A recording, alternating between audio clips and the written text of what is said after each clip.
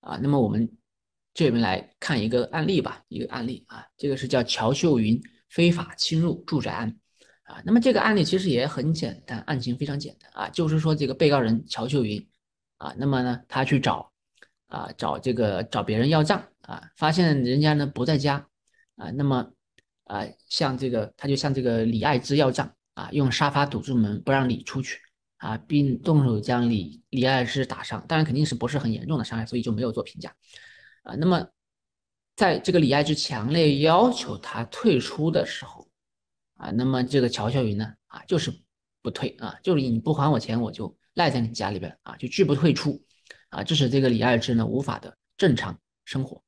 啊，所以你看这个时间，直到六月二十四号，那么在相关人员的这个劝说下，乔秀云才离开现场，也就是说。啊，他一直啊在他们家待了这个啊整整三天啊，整整三天三夜啊，在他们家啊非法的停留了三天三夜啊，拒不退出，拒不退出。那么这那么问题来了，这样的一种啊拒不退出的行为，是不是构成非法侵入住宅罪？那因为这个乔秀云啊去要账的时候啊，其实啊至少是得到了这个李爱芝的这个默许啊，准他允许他进入他的这个住宅啊，进去的时候其实。没有一个侵入的行为啊，进去的时候至少是默认了他可以进入啊。那么现在要评价的是说啊，他有理由进入以后，但是他拒不退出啊，这个拒不退出的行为能不能够评价成刑法上的这个非法侵入住宅啊？那么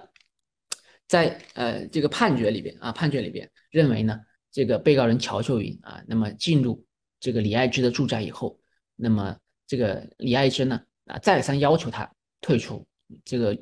这个乔秀英就是不退出啊，那么他的行为已经构成了啊非法侵入住宅罪啊，而且这个还最后还判了这个有期徒刑八个月啊，判了这个实刑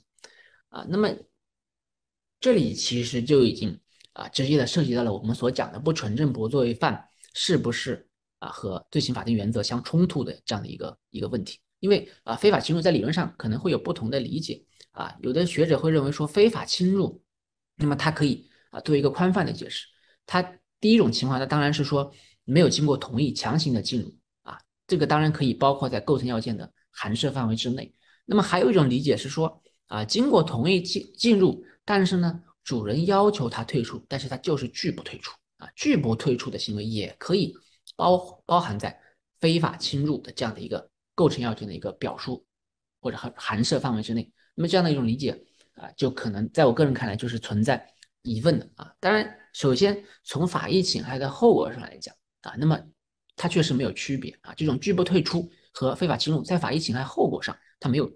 直接的一个重大的一个区别，因为这样的两种行为，它通通的都是对于啊被害人的这种住宅安宁权的一个侵害啊，这个都没有问题。但是问题就在于说。我们这个罪，它明确的限定了对于住宅安宁权侵害的方式，只能是以非法侵入的形式来实现，啊，必须是侵入，啊，那么在构成要件上来讲，这个侵入和不退出，啊，在行为形态上就是明明显的是两个完全不同的概念，两个完全不同的概念。因此，啊，在我看来，啊，这个啊不退出啊，经要求不退出的行为，啊，那么无法涵盖到侵入。啊，这样的一个刑法概念这个含涉范围之内，所以尽管他们这两个行为啊，这个不退出的行为，尽管它也有这种同等的法益侵害，但是因为它行为方式上的这个不对等或者说不相当，因此这样的一种解释，在我看来就是一种啊，属于一种类推解释啊，属于一种类推解释。所以大家会看到，对于啊这个非法侵入他人住宅啊这样的一种罪名。啊，在它的构成要件里边，对于行为方式做了明确限定的时候，这个时候啊，不纯正不作为犯存在的空间就要明显的限缩啊，那么它和最起码的原则的这个冲突就会更加明显一些，会会会更加明显一些啊。反过来讲，像故意杀人这种，它对于具体怎么去实现导致他人死亡后果的这个行为没有特别明确的具体的规定，那么它的这个。和罪行法定原则啊，不纯正不罪犯和罪行法定原则啊相冲突、相抵触的这种可能性就要小一些啊，就要小一些。